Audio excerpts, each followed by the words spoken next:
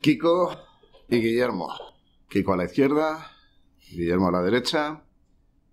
Eh, pues la granja. La granja, tras un año, detrás de ellos hemos conseguido pillarles entre vuelo y vuelo y les hemos traído al 23, nuestro bareto de referencia. Eh, ¿Naturales? ¿Sois de Mallorca? ¿De dónde sois? Sí, de Palma, todos. Y vamos a empezar por eso. ¿Cómo ha afectado ser insulares al grupo, a la banda? Bueno, yo creo que, ha tenido influencia bueno, positiva en muchas cosas. Pues eh, Mallorca ha sido una, una, isla que desde los primeros 60 ha tenido mucha música por el tema turístico, muchísimas bandas tocando en directo, muchísima influencia de guiris que han llegado por ahí, se han instalado un sitio en otro, desde Kevin Ayers, uh, y, y, fue un sitio, bueno, voy a tocar Jimi Hendrix cuando en España pues a lo mejor mucha gente ni lo conocía, eh, muchos grupos y yo creo que eso ha tenido influencia. También el hecho de estar en una isla también nos confiere un poco un carácter más tranquilo, eh, más sosegado y creo que eso ha tenido influencia en, las letras y en, la forma de ser.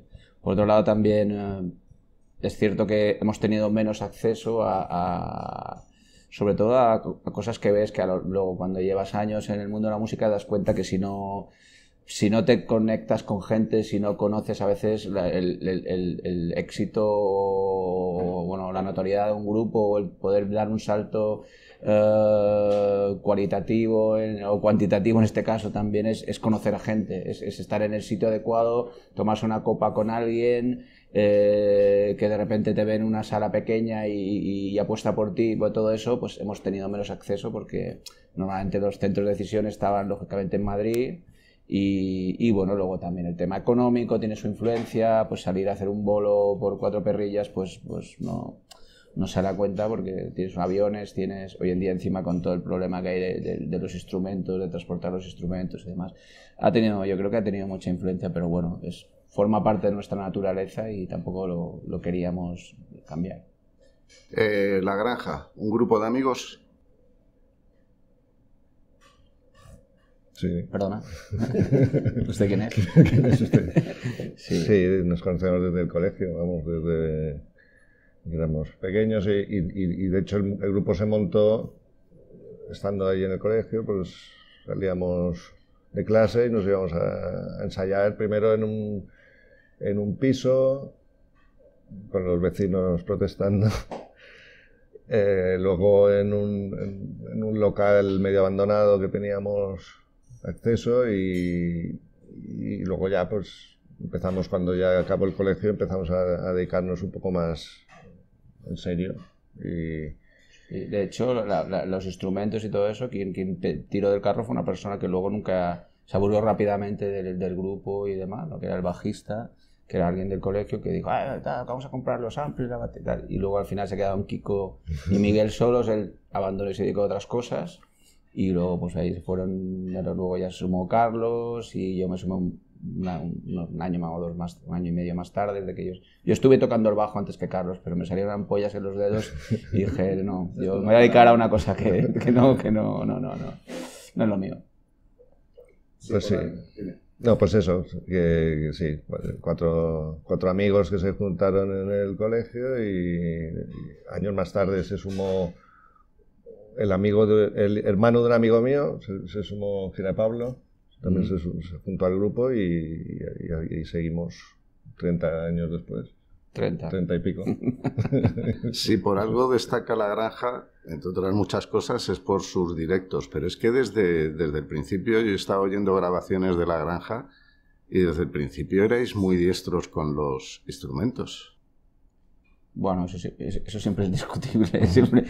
sobre todo hoy día que, que yo veo que, que hemos claro, eh, los que somos de esa generación, pues tenemos un, creo que veníamos de una época en España donde llegó un momento que la gente tocaba muy bien, pero no contaba nada, ¿no? No, voy a descubrir nada. Eso, y, y, tocaba muy bien, pero es que no pasaba nada. Luego vino de toda la nueva ola, o la movida, como quieras llamarle, los diferentes sitios, y entonces pasó la, al revés, ¿no? si tenías algo que contar, una buena influencia, unas buenas letras, tal, pues poco importaba cómo tocases, ¿no? Ahora yo creo que los chavales jóvenes vienen todos tocando muy bien, o sea, y vuelves a caer en la misma trampa. Tocas muy bien, pero tienes algo que contar como decían los ilegales, eh, pues, pues claro, si no tienes nada que contar, poco importa si tocas bien, porque al final eres como una especie de, culturista de la música que vas al gimnasio, que haces escalas así a una velocidad alucinante. Entonces, ese equilibrio es el que hay que intentar eh, mantener. Y nosotros, la verdad es que, que no consideras que tocásemos muy bien, pero con los años pues no nos ha quedado más remedio que aprender lo cierto es que no ha habido mucha dedicación. Yo, yo que me apunté a, unas clases de canto, he fui como tres o cuatro semanas y ya, ya nunca más fui y no creo que nadie haya, se haya dedicado mucho más allá de los ensayos. Es verdad que, pues claro, hubo años que, años que nos dedicábamos profesionalmente y ensayábamos mucho. Ensayábamos cada día prácticamente quedábamos para ensayar y eso, quieras que no, eh, y sobre todo tocando nuestros propios temas y con un repertorio, no es lo mismo las bandas que cada día tienen o cada temporada tienen que sacar temas nuevos, pues eso ya necesitas de una pericia, pero nosotros, ya te digo, no, no creo que seamos muy buenos instrumentistas, pero como decía Ambite, tenemos nuestro rollo, ¿no? O sea, eso es cierto. Eh, ¿Seguís subiendo la botella de Jack Daniels al escenario? algunos.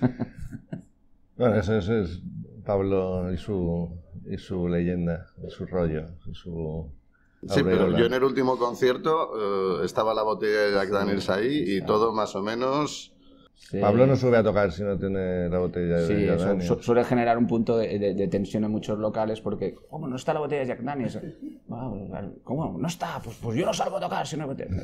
De hecho, me acuerdo una vez en Valencia que, querían hacer una filmación un poco fuera de lo normal y le, y le pusieron una cámara en, la, en el mástil de la guitarra ¿no? Y yo le dije al, al, camarógrafo, le dije, te estás equivocando, esa cámara subjetiva debería estar en la botella de Jack Daniels, porque te iba a grabar todo el rato y realmente lo que ibas a ver, y efectivamente la guitarra duró exactamente una canción, le pegó un manotazo, se fue la cámara tal, y digo, te lo dije, en la botella de Daniels hubiese sido perfecta, pero no. ¿Hace cuánto que no sacáis disco? El efecto dominó fue el último, ¿no? El tobogán. Eso, el tobogán, tobogán. De, 2004. Bueno, el, el disco físico. 2004, 2004, sí. Y desde 2004 un villancico y poco más. Eh, sí. A ver, ¿qué pasa con La Granja? Que todos los fans de La Granja, que los que son fans de La Granja lo son a muerte, están deseando que saque cosas nuevas y vosotros seguís como banda. ¿Qué pasa? Somos muy perros. No tiene, yo creo que no tiene otra explicación. Somos, somos... Hemos tenido canciones estos 18 años. Hemos ido sacando canciones que las grabábamos, las grabábamos en el local así y luego se quedaban olvidadas muchas de ellas. De hecho, no, no hemos dado el paso de, de, ir a un estudio a grabarlas bien para editarlas porque no, no ha sido necesario hacerlo. No, no porque, porque somos vagos, por por un lado, para meternos en un estudio y estar dos semanas grabando canciones. Y por otro lado, porque tampoco no, es algo que, hemos, que hayamos necesitado, porque hemos ido tocando de tanto en cuanto pues conciertos que, la, que al final la gente lo que, lo que te pide son las canciones más antiguas y eso. Sí, la verdad, la verdad es que ahora la ilusión de sacar un disco, en nuestro caso, pues, pues, pues, ha menguado mucho. Es decir, eh, ¿qué, pasa con un disco? ¿Qué haces? Que todo es tan rápido, tan volátil, te gastas un montón de, tiempo, de dinero en un tal, que luego se pone, lo escucha alguien y, queda queda prácticamente diluido muy rápidamente, tiene, tiene poco impacto y eso también puede haber influido eso y que nosotros no nos dedicamos ya hace tiempo profesionalmente a la música, sino tenemos otras cosas, pues en ese tiempo la gente ha decidido también montar familias que, pues los que las tenéis o los que las tienen saben las esclavitudes y las, los beneficios que a eso, perdón, eso, tiene que ver todo el mundo. Y, y, y, claro, una cosa y otra, pues, pues nos ha creado el clima ese y que nosotros también estamos muy bien acostumbrados, a nosotros somos de los que nos pagaban los discos. Somos de esa generación de que nosotros íbamos a, grabar un disco y nos lo pagaba alguien. O sea, de repente, oye, ¿quién paga esto? Pues nadie, pues si nadie paga la fiesta, no hay fiesta. O sea, entonces, pues todo junto, todo ese caldo de no cultivo en este caso, pues, pues puede haber influido. Sí. Y luego dices, ¿y para qué voy a perder tiempo en hacer algo que, que luego mm, hoy en día con vendes 100 discos y entras en número uno en las listas? Y, o sea, lo, que vengo a decir es que no se venden discos. Y, no, y que, luego también... hay un mercado digital, que, pero todo esto a nosotros nos queda un poco... Si no lo dominamos, la parte esa de redes y tal no, no, no, no nos gusta demasiado, no, no, nos sentimos parte de eso. Lo podemos hacer, pero es como, como si me pongo, ¿sabes? unas mallas de jogging, y sí me las puedo poner, pero que, que no, me, no, no, es lo mío, ¿sabes? No, pues eso, eso también, también, también influye. Y aparte luego, yo creo que lo definitivo es que tú vas y te metes en un, en una, a un concierto y la gente quiere escucharlo de siempre. De hecho, en nuestros últimos repertorios, canciones de los dos últimos discos, a lo mejor hay una. Hay una o, a veces ninguna. Entonces dices, jo, haces todo esto y al final vas a sacar un disco nuevo, presento disco nuevo y al final tienes que tocarlo de siempre porque es lo que a la gente le gusta, lo siente cómodo y a nosotros al fin y al cabo pues quieres crear esa comunión y ese buen rollo con la gente y esa conexión y, y, y, con lo consigues con los temas que han significado algo para ellos y forman parte un poco de su, de su imaginario personal. Pero nosotros queremos una primicia. ¿Va a haber material nuevo de la granja? Sí, va a haber material hay algo, nuevo. Hay algo en marcha, sí. o sea, siempre decimos que sí, porque no cuesta nada decir que sí. A mí me enseñó hace años en mi primer trabajo, tú siempre dices que, que siempre hay tiempo de decir que no luego. Primero, de sí de entrada. Al cliente, sí. Pero sí que es verdad que hay una base que tenemos cuatro temas grabados con sus bases grabados en estudio y Pablo está trabajando en su casa, que ahora es una época propicia para él porque él hiberna, se encierra en su casa se alimenta bien para luego y, y creo que, que, sí que no sé en qué plazo, pero sí que van a salir cosas relativamente breves, meses. Canciones hay, ahí tenemos una docena de canciones, pero... Por ahora hay cuatro. De momento sí, hemos cogido cuatro. Que haremos un EP, pues estamos, a medio grabar, todavía puede pasar un par de años hasta que estén totalmente... No, yo creo que un par de años creo que no van a pasar, ¿eh? No, será menos. Ahora ya hemos dado el pistoletazo de salida. Y, la idea es grabar después de estas cuatro, grabar otras cuatro y, así hacer cada, cada año ir sacando canciones, canciones sueltas. No sabemos si se editan en vinilo o, no. Esto ya vosotros los, sois los entendidos de los vinilos, nos aconsejaréis. No, no, nosotros vamos a estar detrás para que lo saquéis. ¿Qué significó este disco? Y una pregunta que no os habrán hecho nunca, ¿qué pinta un dinosaurio? Bueno, bueno, esto concretamente, vamos a poner los puntos sobre eso. Esto es un Styracosaurus, ¿vale? Y esto viene de, de, de, una idea que tuvimos con una fotógrafo que Amparo Garrido, que es la que hizo esta... Nosotros no teníamos idea de cómo hacer fotos, fuimos a hacer una sesión. ¿Dónde vamos a hacer una sesión? Pues al campo, vale, pero al campo, ¿hay algún campo que no sea campo así como todo el mundo? Pues, pues nos fuimos a un parque de dinosaurios que había en Mallorca, había un parque de dinosaurios, aunque parezca real, era, era una escultura, que por cierto, ahora están en Rumanía, se los llevaron todos y se los llevaron a un parque de Rumanía. Y ahí, y luego en esto lo que quisimos dar es un poco el rollo ese japonés, Godzilla, mm, ese rollo así muy saturado de color, con el, con el bicho aquí en rojo y básicamente eso fue un poco la idea. Sí, y, la foto esta, pues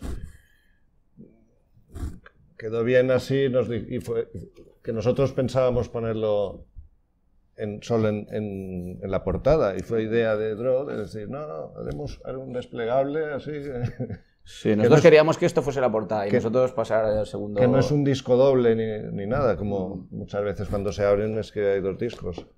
Pero fue. idea de, no sé si Charlie o del departamento bueno, y luego cuando nos produjo el disco Paul Collins, pues nos dijo, bueno, es que esto es clave. O sea, las caras de los músicos tienen que salir del disco siempre. Si no, ¿cómo te invitan a cervezas? O sea, si no saben qué cara tú tienes, ¿cómo, cómo puedes ir? Eh, Paul Collins, The Beat, eh, está claro que sois súper guitarreros. ¿Y hasta qué punto, bueno, pues esa influencia de, me imagino que Paul Collins, si os produjo, también ha sido una influencia? Eh, bueno, ¿cómo describiríais la música de la granja, aunque sea un tópico? Pues sí, tiene como punto de partida el power pop de finales de los 70, principios de los 80 con otras influencias también de, grupos como los Bears bueno hay, de todo porque realmente lo que lo que éramos éramos cuando, empezábamos y bueno pues seguimos siendo algunos más que otros éramos fanáticos de la música y, y sobre todo de, la música pop tirando a, rock o sea un pop más bien potente y, los NAC también eh, grupos en los, principios de los 80 también, de, grupos de garaje. Entonces, sí, los Prince Souls, que era... Pues no solo, también toda la, época 60 de Mercy Beat y todo esto, pues claro, los Beatles, los, ¿no? Los, sí, como, digamos... Sí, nos influye, nos influye muchas cosas, incluso también los 70, toda la parte del glam, tiene canciones que tienen cosas que ver con el glam, con nosotros, luego pegado prácticamente a toda la parte esa de Power Pop, que era más un poco Los Ángeles. También salió todo el nuevo rock americano, que tenía un punto sureño, mm. que, que, nos gustaba, ¿no? y básicamente canciones de estructura pop, de, canciones de tres minutos máximo, o cuatro, si me apuras, una baladita, pero pero canciones cortas con su estribillo y su sí que estén presentes las guitarras su melodía en las voces. la melodía es, primordial para nosotros. Y, luego pues sí guitarras siempre presentes guitarras potentes y, y poco más.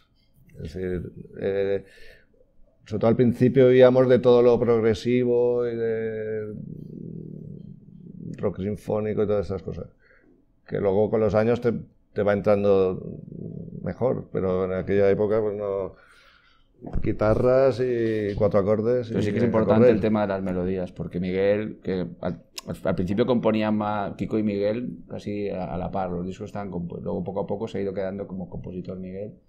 Y, siempre prioriza la música y prioriza la melodía. Hay gente que, que, escribe a partir de un texto, hace una melodía, y nosotros al revés, nosotros tenemos una melodía y hemos de buscar un texto que se cuela ahí como sea y sin forzar. Si te fijas en nuestras canciones nunca verás acentos cambiados como que, que, no nos gustan nada, ni, ni tampoco pues, pues, no hacemos rimas consonantes, tampoco eso no es no, tal, pero sí que la melodía eh, manda sobre prácticamente todo, todo lo demás, ¿no? a partir de la melodía sale todo.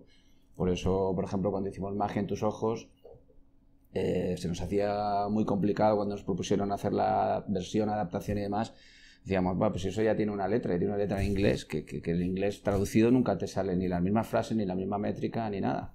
Pero bueno, Miguel un día se presentó con cuatro papelillos por ahí y, al final salió una letra que, pero siempre respetando la, la melodía, que para nosotros es un poco donde se, se apoya todo lo demás. Una apreciación. No sé si estaréis de acuerdo. La granja tuvo su momento de gloria en cuanto a ventas, etcétera, etcétera pero ahora para mí es un grupo de culto con los aspectos positivos y negativos. Positivos, que la gente, y eso sí que lo hemos notado, está deseando conciertos de la granja, música de la granja, etcétera, etcétera. Pero bueno, tú ya lo has dicho, ya no vivir de la música, estáis un poco alejados.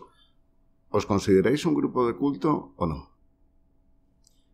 Esa es una pregunta complicada para, para uno mismo, ¿no? Es decir, eh, yo, yo creo que somos un grupo que gustamos mucho a no mucha gente, ¿no?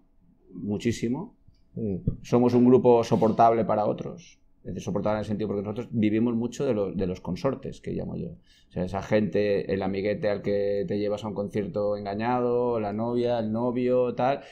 Y al final acaban siendo también, de alguna manera, seguidores, porque, bueno, también podemos entrar a ese público que no es fan de, digamos, de todos los discos y todo eso, sino que, que, que, de alguna manera se va sumando. Pero culto, yo creo que al final eso, pues tiene que pasarte algo algo gordo para que acabe siendo un grupo de culto y espero que nosotros si, vivimos tranquilamente y, sin grandes sin grandes sustos y tal a mí ya me va bien prefiero no no no todo, todo a su debido tiempo no pero mm, yo creo que, que hace tres años o así nos hicieron un disco en Palma, alguien montó ah, un disco un poco homenaje, Un homenaje a, ese primer disco era, ¿no? No, en general yo creo a la, a la trayectoria, porque había, había canciones de, todos de, todos los, de todos los LPs.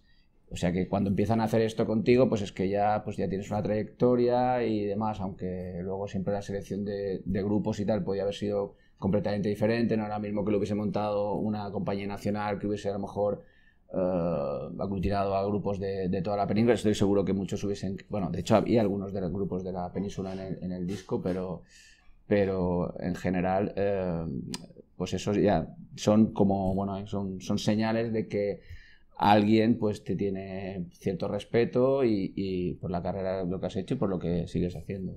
nosotros preferimos seguir tocando antes que ser un grupo de, culto. Sí, pero desde, desde 2004 sin disco y seguís tocando. Es a lo que voy. Entonces, pues bueno. Sí, según como entiendas lo del culto.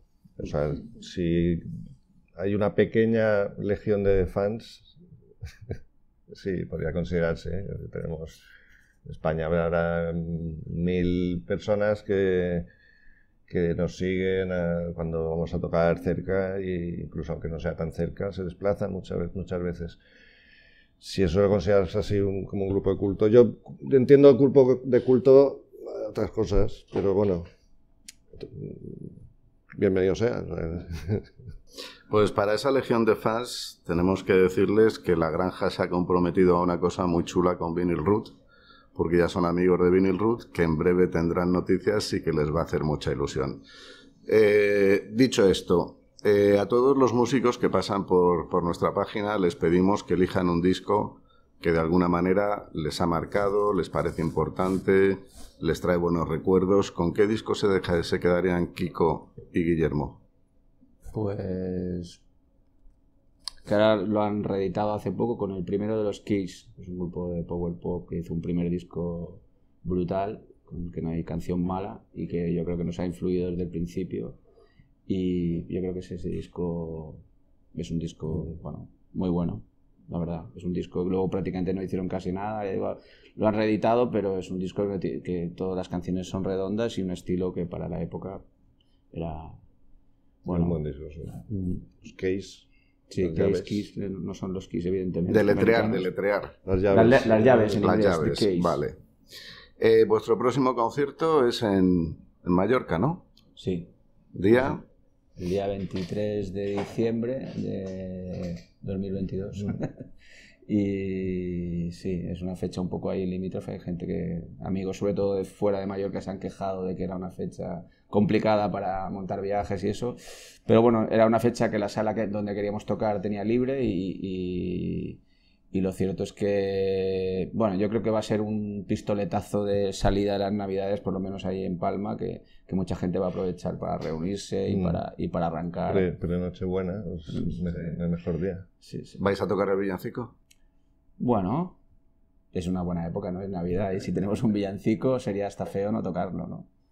Eh, vamos a ver, a ver si tocáis en la península, ¿eh? a ver si nos vamos animando. Y ya simplemente daros las gracias y haceros entrega de las camisetas de Vinyl Root, que yo creo que os van a venir muy bien para, la República Dominicana. Oh, hemos desvelado a dónde os vais. Pues sí, la verdad es que mira, eh, yo no, en la mochila de mano no llevo ninguna camiseta y un amigo ha dicho, no, ¿cómo que no? Si pierdes la maleta, ¿qué haces? Pues ahora ya tengo seguro que por lo menos la camiseta de Vinyl Root para presumir por, por Dominicana y ver si hay algún bar que pongan Power Pop ahí en, Dominicana, no sé. Eso sí, mandad foto. ¿Eh? Mandaremos foto, por supuesto. y, lo dicho. Sí, sí, sí, que, caiga. Y nada, que muchísimas gracias. Muchísimas gracias por sumaros al proyecto del que todavía nadie sabe nada. Y bueno, pues nos vemos en. Por poco no lo he dicho, ¿eh? Me, lo, me tenido que cortar. Por poco meto la gamba. Vale, pues no, eso es, eso es secreto por ahora. Pero vamos, el 16 de diciembre va a pasar algo que le va a gustar a mucha gente. Muchísimas gracias. Seguimos en contacto y la próxima vez a ver si podemos presentar nuevas canciones. Perfecto. Muy bien. Gracias. Muchas gracias a vosotros.